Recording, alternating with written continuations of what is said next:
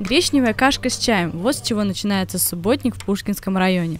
В Подмосковье стартовал общеобластной субботник под девизом «Чистый двор, чистая совесть». На Советской площади перед началом торжественного открытия артисты развлекали народ песнями и плясками. Приехав, глава района сказал, что они прокатились по городу и очень рады, что большинство жителей и организаций откликнулись и вышли убираться.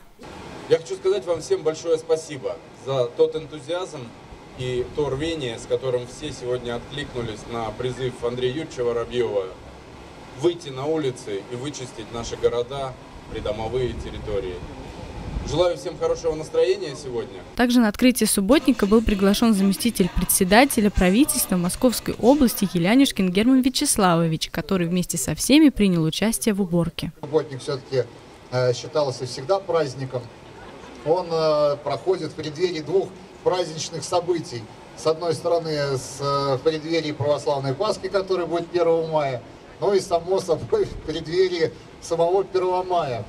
И я думаю, как раз сегодняшний праздник, сегодняшний субботник, он должен пройти с удвоенной энергией, чтобы все э, слои нашего общества, вне зависимости от э, вероисповедания, вне зависимости от политических предпочтений, сделали все, чтобы наши дворы, наши города стали красивее. Хорошего трудового настроения. Все организации ушли убирать свою территорию, жители по дворам, а команда во главе с Сергеем Гребениченко и Германом Елянюшкиным, набравшие сил после небольшого перекуса, отправились приводить в порядок центральный парк.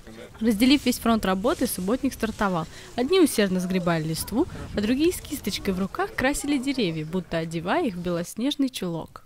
Мне было по большому счету все равно, что делать сегодня. Убирать листву или деревья белить.